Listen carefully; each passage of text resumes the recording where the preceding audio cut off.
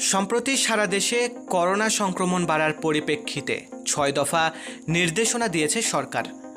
নির্দেশনায় no mask, no service নীতি প্রয়োগ করার ওপর জোর দেওয়া হয়েছে।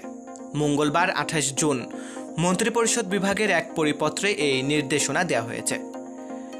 নির্দেশনায় বলা হয়, সারা দেশে কোভিড উনিশ আক্রান্তের হার দ্রুত গতিতে বৃদ্ধি পাচ্ছে ও জনগণের মধ্যে মাস্ক পরিধান এবং স্বাস্থ্যবিধি অনুসরণে যথেষ্ট শৈথিল্য পরিলক্ষিত হচ্ছে মর্মে সরকারের উচ্চ মহলে আলোচনা হচ্ছে।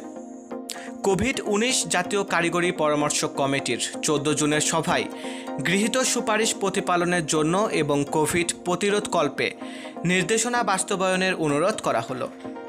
নির্দেশনাগুলো হলো স্বাস্থ্যবিধি মেনে চলার জন্য জনসাধারণকে উদ্বুদ্ধ করতে সব গণমাধ্যমে অনুরোধ জানাতে হবে।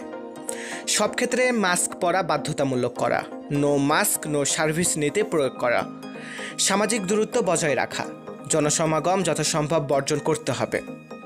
ধর্মীয় প্রার্থনারত স্থানসমূহ যেমন মসজিদ, মন্দির, গির্জা ইত্যাদি সমূহে মাস্ক পরা ও সামাজিক দূরত্ব বজায় রাখতে হবে। জ্বর, সর্দি, কাশি বা কোভিড উনিশের উপসর্গ দেখা দিলে কোভিড টেস্ট করার জন্য উদ্বুদ্ধ করতে হবে। দোকান, শপিং মল, বাজার, ক্রেতা বিক্রেতা, হোটেল, রেস্টুরেন্টে সবাইকে বাধ্যতামূলকভাবে মাস্ক পরিধান করতে হবে। অন্যথায় তাকে আইনানুক শাস্তির সম্মুখীন হতে হবে। স্বাস্থ্যবিধি প্রতিপালন এবং মাস্ক পরিধানের বিষয়ে সব মসজিদে জুমার নামাজের খুতবায় ইমামরা সংশ্লিষ্টদের সচেতন করবেন। মারুফ হাসান বিশাল বাংলার দশ